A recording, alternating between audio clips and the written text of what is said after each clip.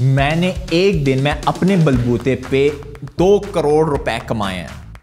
और वेल वो fine arts में बच्चियाँ बड़ी टैट होती हैं। We believe in friends with benefits sir क्या बात करें? फ़ोन बंद कीजिए किसको कॉल कर रहे हैं अल्लाह की कसम तू आज खत्म है।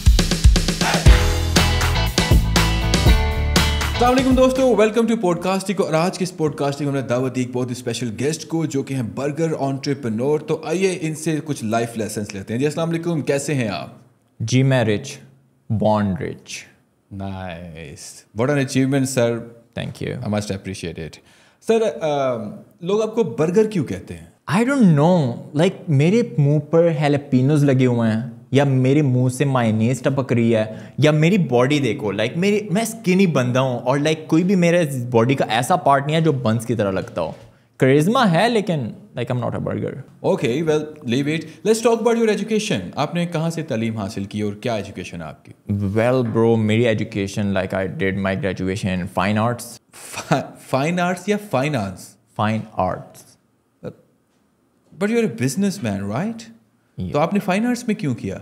ओह वेल वो फाइन आर्ट्स में बच्चियाँ बड़ी टैट होती हैं। तो क्या आप यूनिवर्सिटी में ये कुछ करने जाते हैं?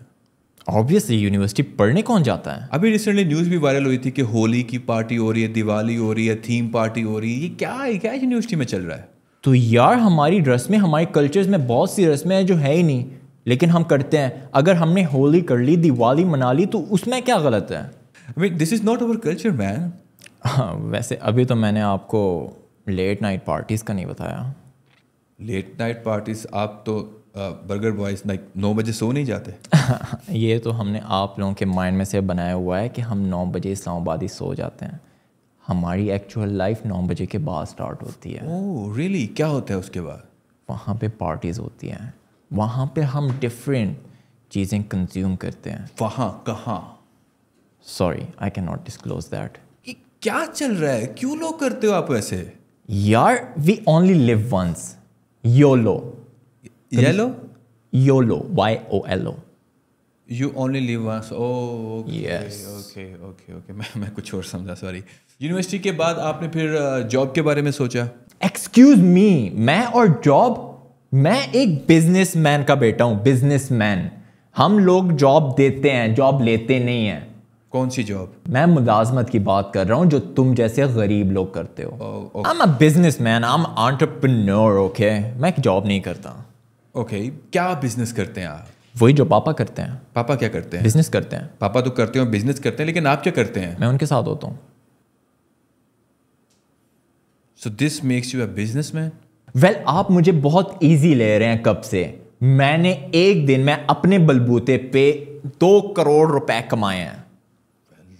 That that sounds great I am interested कैसे? वो पापा का जो डीएचए वाला प्लॉट है ना वो मैंने बेच दिया।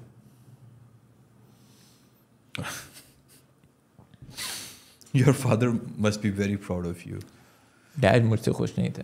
व्हाई क्योंकि वो प्रॉपर्टी चार करोड़ की थी। ओके ग्रेट और क्या क्या कारनामे आपने सर अंजाम दिए? हैं वेल मैंने क्रिप्टो में भी ट्रेडिंग वगैरह की हुई है। You know Okay. Crypto term easy money easy I know easy money you know okay okay फिर क्या बना उसके बाद? वेल जैसे पापा को पता चला कि मैंने क्रिप्टो में पैसे इन्वेस्ट किए हैं उन्होंने जो मेरे नाम पे प्रॉपर्टी की थी वो वापस अपने नाम पे कर दी। Your father is a very wise man मुझे लगता है कि मुझे उनको बुलाना चाहिए था हमारे पॉडकास्ट में। वो नहीं आ सकते वो काफ़ी बिज़ी होते हैं। और आप? यार मुझे पता लग गया आप कितने बिज़नेस मैन हैं कितने ऑन्टरप्रनोर हैं ये ये इसको साइड पे कर देते हैं ठीक है? बिज़नेस को let's talk about your personal life मुझे वो ज़्यादा इंटरेस्टिंग लग रही है। अच्छा ये बताएँ आपकी कोई गर्लफ्रेंड है?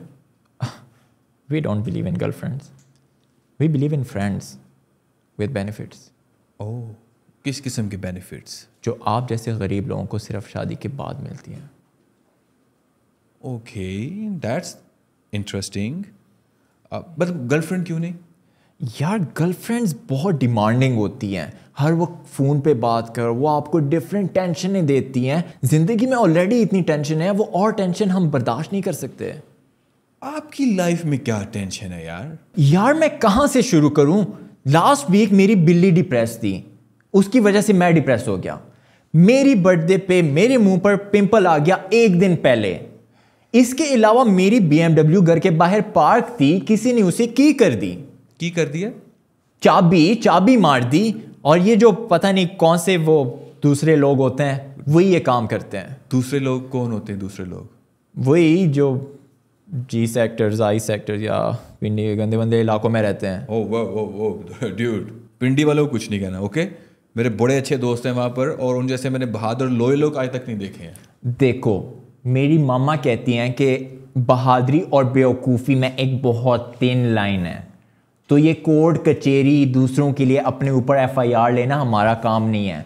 मेरी बहन ने एक बार एक स्कूल में एक गरीब लड़की को ज़मीन पे लिटा दिया था और वो क्लिप सोशल मीडिया पर वायरल हो गई और हमें कोर्ट जाना पड़ा। ओ माय गॉड एक बार लेकिन to like we are rich हमने लॉयर्स वगैरह को लाइक पैसे वगैरह खिला के ना कैसे ख़त्म कर दिया। हमारी लाइफ में बहुत मसले होते हैं बहुत। ओ भाई असल मसले हम गरीब लोगों के हैं। खाने को कुछ नहीं है आटा नहीं है खाने को रोटी तक नहीं है। तो केक खा लें बिस्किट खा लें फ्रेंच टोस्ट खा लें। यार आपको अकल है कि नहीं? आपको शर्म है कि नहीं? आपकी अपनी एक ज़िंदगी है। आपको अपने से बाहर कुछ नज़र ही नहीं आता है। आपको एहसास नहीं है गरीब लोगों का। अब क्या गरीबों को गंदे मंदे बोल रहे हैं? हम यहाँ के लोकल हैं पाकिस्तानी हैं। बाबा बाबा जल्दी आए। यहाँ पर एक बंदा है उमर सलीम। बहुत गंदा घटिया आदमी है। ये मुझे तंग कर रहा है। बाबा जल्दी है ये कौन सी जगह है? जी, जी कौन सा सेक्टर है? सर क्या बात करें फ़ोन बंद कीजिए किसको कॉल कर रहे हैं अल्लाह की कसम तू आज खत्म है। अबे सर मैं तुम्हारे ख्वाबों में आऊँगा।